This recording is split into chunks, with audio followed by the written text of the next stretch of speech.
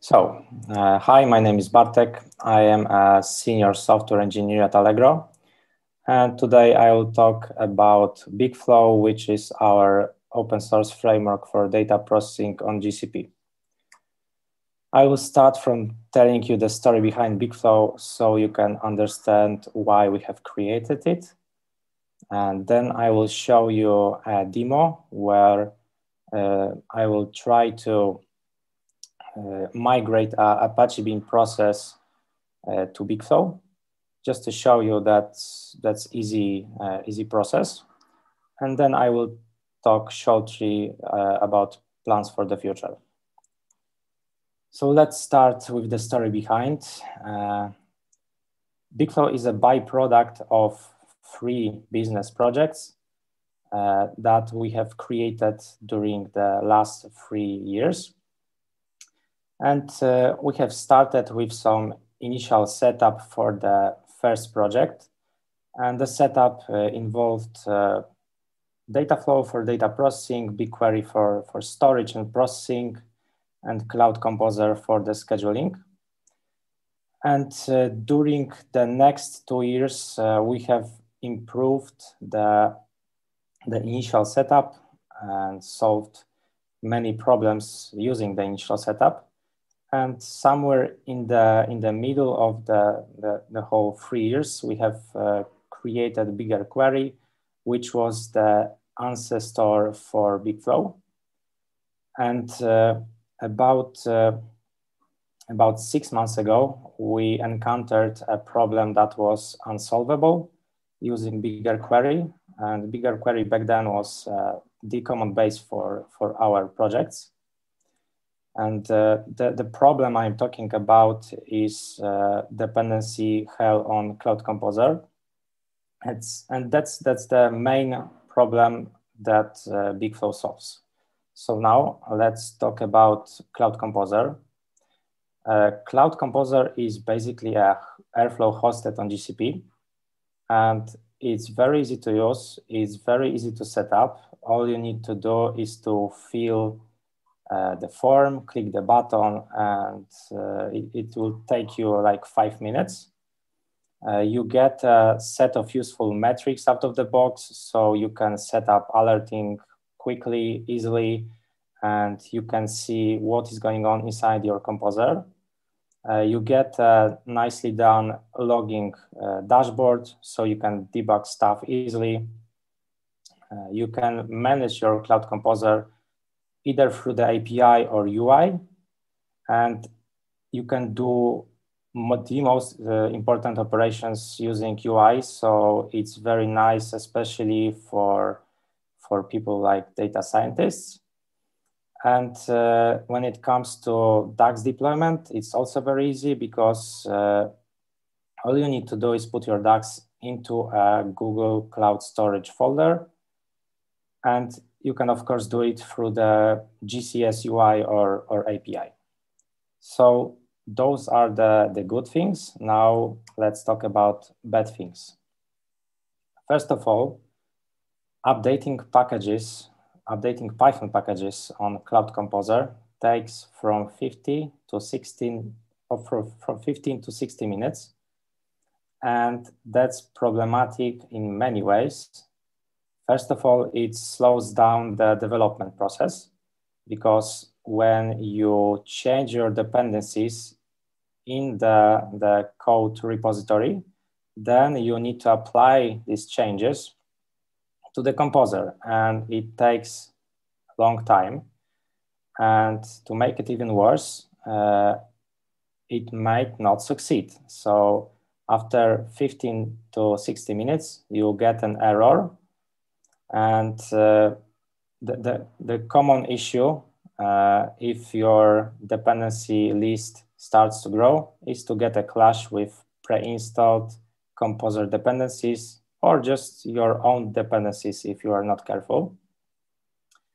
And then you need to go through the tedious uh, process of debugging and uh, it's it makes even uh, solving that problem even longer. And remember that uh, pre-installed versions of uh, Python packages on Cloud Composer might change from version to version. So switching to another version of Cloud Composer is not completely safe operation.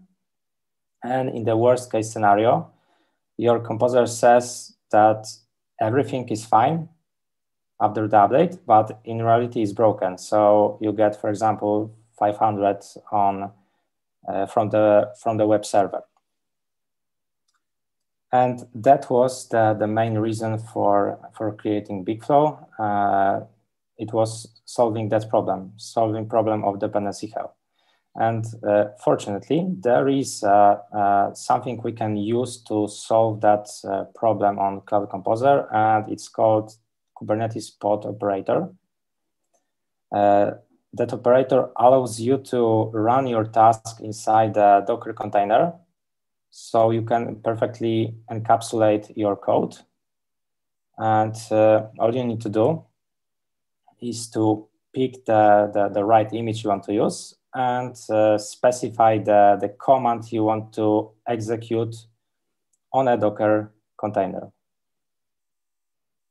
So uh, it's very powerful, uh, very powerful tool, but uh, it might be inconvenient when it comes to, to switching to that uh, operator because now you need to dockerize your, your Python project, your data processing project or, or ML project, whatever. Uh, so you need to create a Docker file. Uh, you need some way of uh, executing your tasks inside your container. So it's nice to have it's nice to have some command line. And of course, you need to rewrite your DAGs so they use only Kubernetes pod operator. Uh, if you want to, of course, encapsulate your, your tasks uh, perfectly.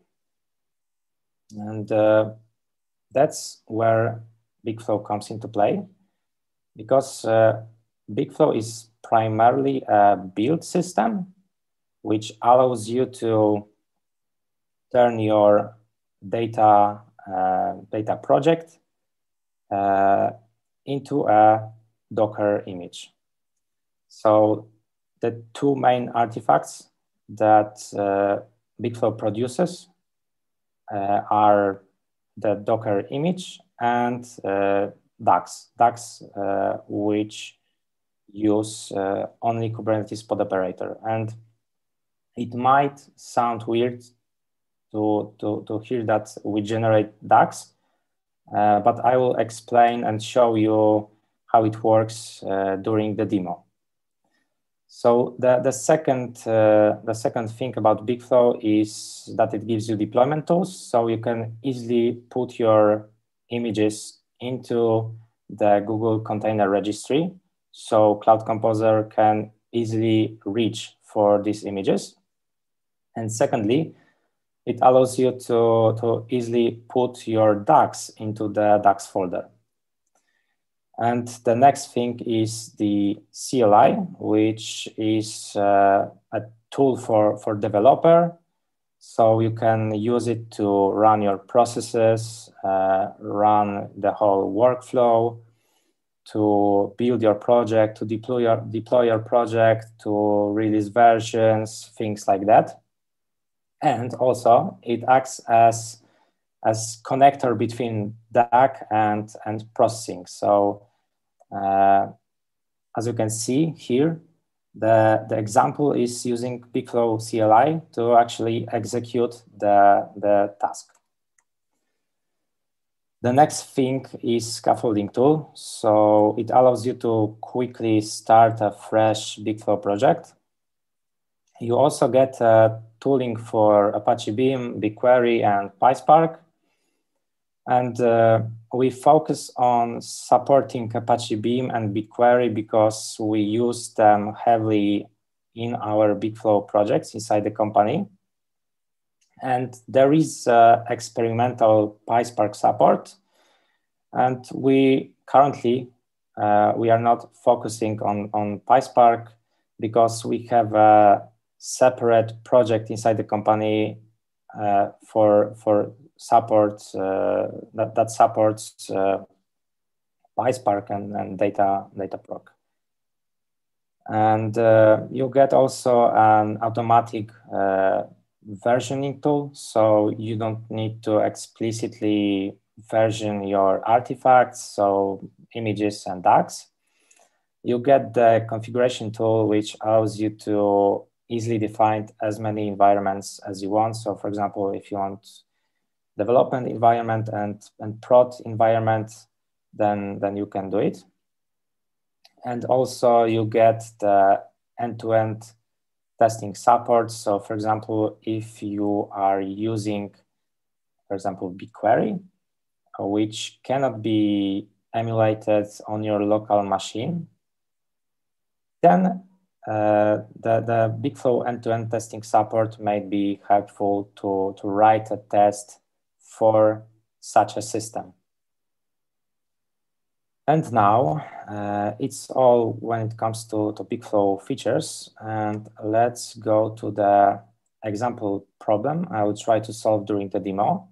So let's say that we have a Apache Beam processing written in, in Python SDK. And we have a Cloud Composer.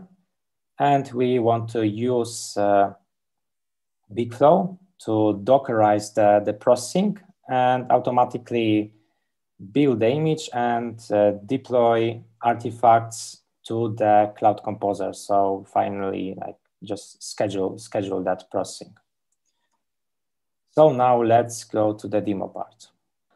Okay, so now let's start the demo part. Uh, first of all, I need a fresh Bigflow project. And to do that, first I need to install Bigflow. So uh, I need some uh, virtual environment. So Python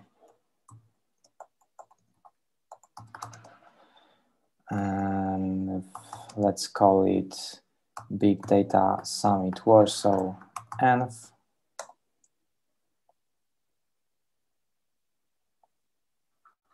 Okay, now I can use the environment. And now I can install Bigflow. As you can see, Bigflow is just a standard Python package. You can install it through pip.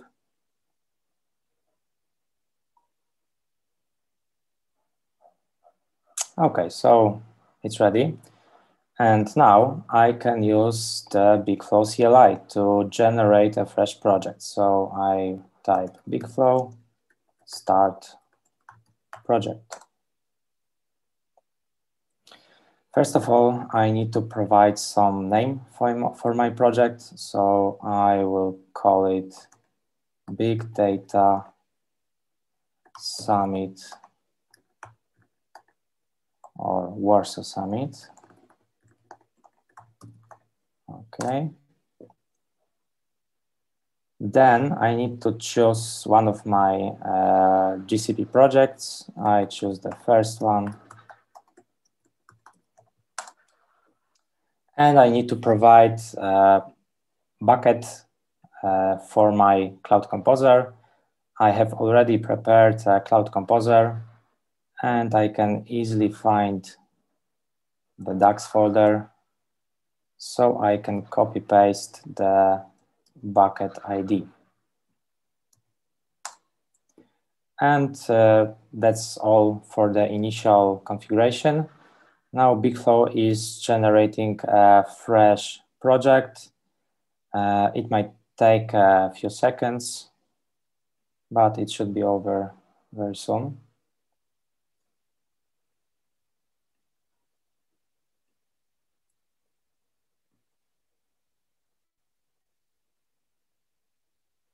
Okay, so it's ready. And just to show you what is going on clearly, I will open the project using uh, PyCharm.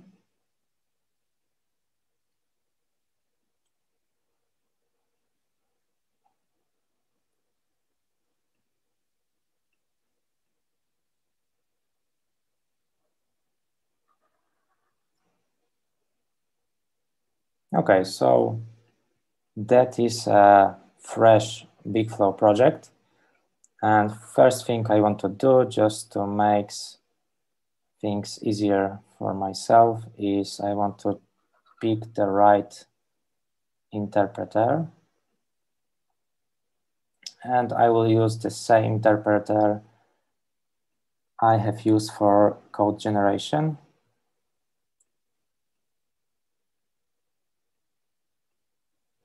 Okay, so it's ready. So now, first thing I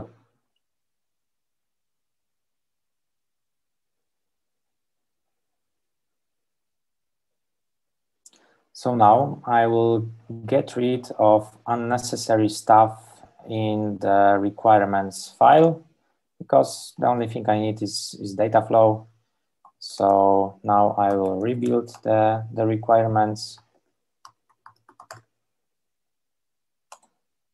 So I can reinstall only the necessary stuff. And uh, you might be thinking, why are we using something called uh, requirements in. So using requirements in, you are describing uh, very generic requirements for the project. And uh, you can then compile that file into the final requirements uh, .txt. Uh, so you have a completely frozen dependency tree of your requirements just to make the whole build system a bit more secure. Okay, so my requirements are ready to be installed. So I run uh, pip install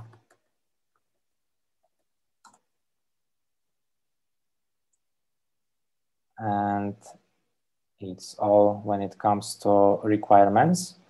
Now I will get rid of unnecessary stuff from the generated project. So I have completely clear project. And now I will move the example Apache Beam processing into the, into the project. So now I need to find the file with, with the processing.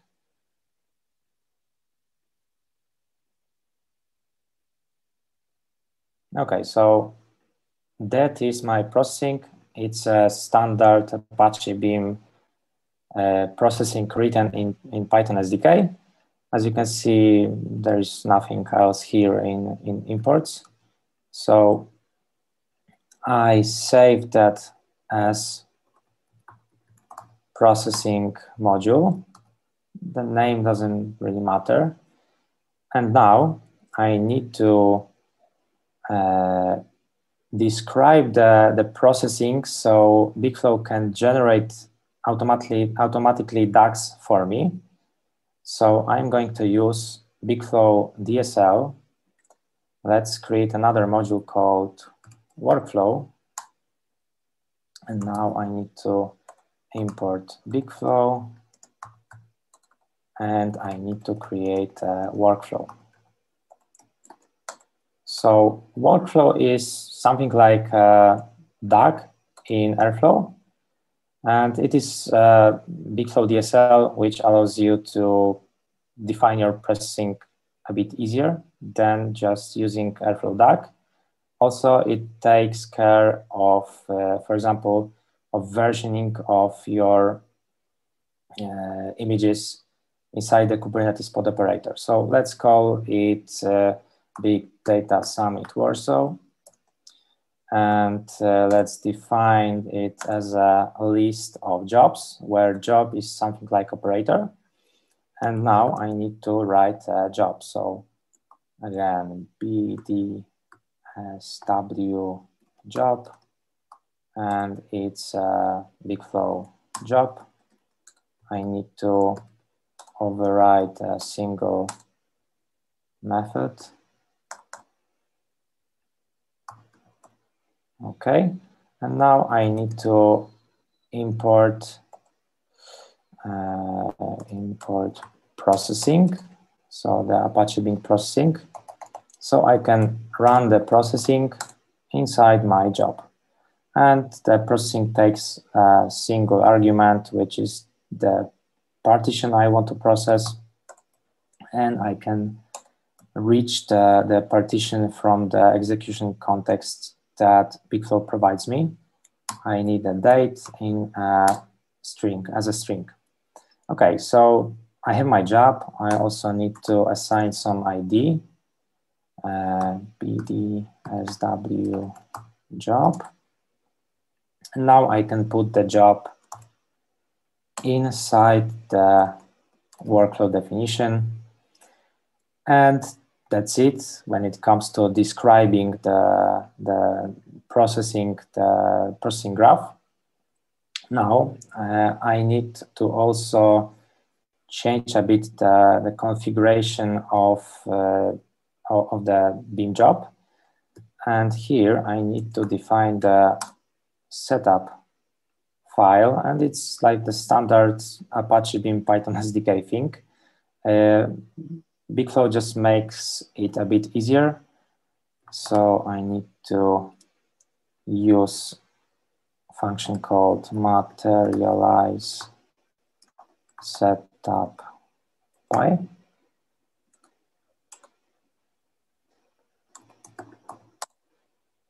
So it provides me automatically path for the uh, setup file of the whole project. Okay, so that's all uh, here.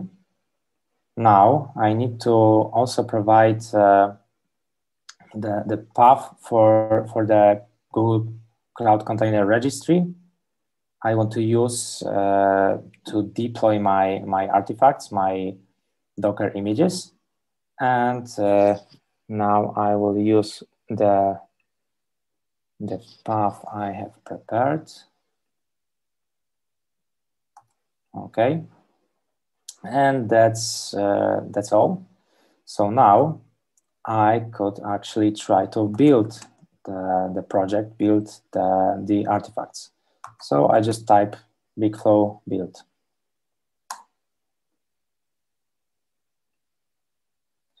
So first of all, uh, Bigflow is trying to build uh, the Docker image from the Docker file. And uh, it will encapsulate my processing uh, that can be found inside the main package of the, uh, of the project. And uh, I have a minute to talk about the whole project structure. So first of all, uh, every single Bigflow project is a standard Python package. So that's why there is something called setup.py, and it uses a standard setup uh, tools for, for Python under the hood. Uh, next, there is something called PyProject.toml, which defines the requirements for the build system. It's especially used for for example, on, on a system like Bamboo. And uh, there is the Docker file, which defines your execution environment. You can, of course, change it. So for example, if you want to use another version of Python, then you can, you can do it. And there is the deployment configuration, which points uh, to the Docker registry and DAGs bucket um, that you want to, to use. And there is the test package where you can store your automated tests and Bigflow runs them on every build. And uh, there is the resources uh, directory where you can store anything that your process needs, but it's not a code. And there is the main source package where you can store your workflows, your processing, your configuration, etc., etc. So now we are waiting for the build process to, to be finished. It should end soon. Of course, if you have uh, some tests inside the, the test package uh, and they not succeed, then the, the process will be will break. But here I don't have any tests, so it it should be fine. Uh, I think we can already see the, the artifacts that are being produced. So first of all, it's the, the Docker image. And uh, I will try to refresh that. Yes, so there is the, the image uh, saved as a tar. And there is a single DAG. As you can see, it's an Airflow DAG using Kubernetes pod operator. So now I can just run bf deploy to deploy these artifacts. So uh, it will actually schedule that, that processing because uh, when I deploy the DAG, when I deploy the, the Docker image, uh, uh, that is basically scheduling my, my workflow. And I will use that time uh, to talk about the future future plans for uh, for BigFlow. Mm, and we are going to uh, improve BigFlow in the next three to six months in three areas. So first of all, uh, we are trying to automate the process of uh, infrastructure creation because right now uh, to use BigFlow, you need to create uh, a cloud composer, you need to provide a container registry, and like every part of infrastructure. And uh, it's uh, it's a long process compared to the the starting uh, BigFlow project, and it can be automated. So I think it will lower the, the entry level and uh, it's worth it. So the second area is uh, improving documentation or in general education path uh, just to make it easier to, to, to, to, the new users and maybe we'll provide some uh, some snippets useful in many different situations. So for example, we already have uh, snippets showing you how to, for example, set up an automated end-to-end -end test or set up monitoring for for Cloud Composer. And the, the third area uh, is just developing BigFlow itself, so the, the open source package. And uh, right now we are aiming more for the, the speed and uh, stability. So for example, we want to improve the, the build process so it's a bit faster and uh, we want to make sure that uh, our users uh, use the, the proper packages for the uh, version of Dataflow or Apache Beam they use because having a clash with one of the packages pre-installed on Dataflow workers might be dangerous. So we are more, more focusing on, on stability, security, and speed than, than features. And uh, that's it when it comes to when it comes to development. Um, okay, so the deployment process is finished. So now I can show you the, the result. So first of all, uh, the process is running. Uh, as you can see, there is the DAG uh, inside the Docker, uh, inside the DAG's bucket. And also we can see that the, the process is running on the cluster. Here it is.